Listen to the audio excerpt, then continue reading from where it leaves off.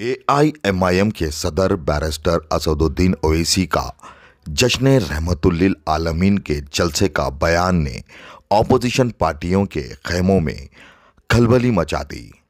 राहुल गांधी पर निशाना साधते हुए बैरिस्टर असदुद्दीन ओवैसी ने राहुल गांधी को हैदराबाद से लोकसभा सीट लड़ने की चुनौती दे डाली।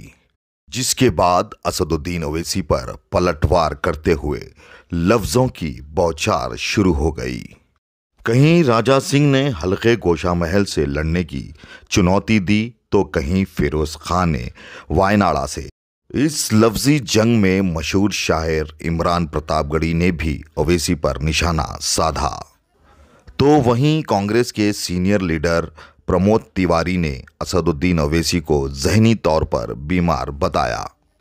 इस बीच तेलंगाना प्रदेश कांग्रेस कमेटी के senior vice president G Niranjan ने प्रेस कॉन्फ्रेंस से खिताब करते हुए कहा, असदुद्दीन ओवैसी की हैदराबाद पार्लियामेंट से यकीनी तौर पर हार होगी। अगर राहुल गांधी हैदराबाद की सीट से मुकाबला करें तो और साथ में उन्होंने कहा कि भारत जोड़ो यात्रा से लोगों में राहुल गांधी से मोहब्बत और उन पे एतमाद बढ़ गया है।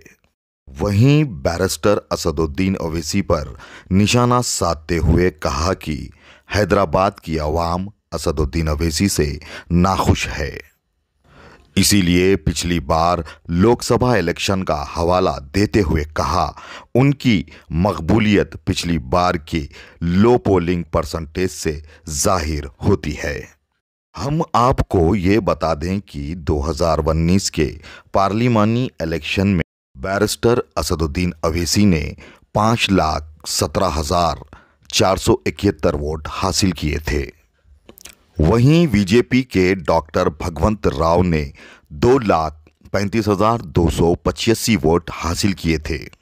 और टीआरएस के टी श्रीकांत को तिरसठ हज़ार दो सौ उनचालीस वोट हासिल हुए थे।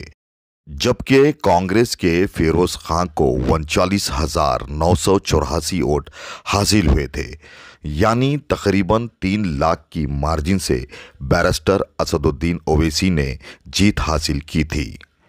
आप लोग को क्या लगता है, अगर राहुल गांधी हैदराबाद की सीट लोकसभा से इलेक्शन लड़ते हैं तो क्या वो जीत पाएँगे? अपनी राय कमेंट बॉक्स में हमें ज़रूर बताएँ। ब्यूरो रिपोर्ट बोलता तेलंगाना। आपके दोस्त सैयद मोहम्मद को दीजिए इजाज़त। अल्लाह हाफिज।